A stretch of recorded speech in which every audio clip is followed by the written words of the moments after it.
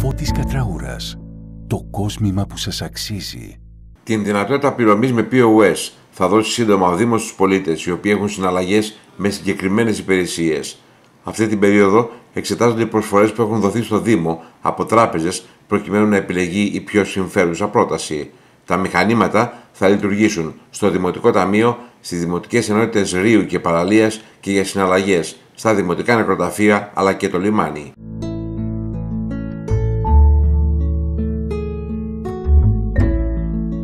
Είμαστε δίπλα σας σε κάθε ξεχωριστή στιγμή.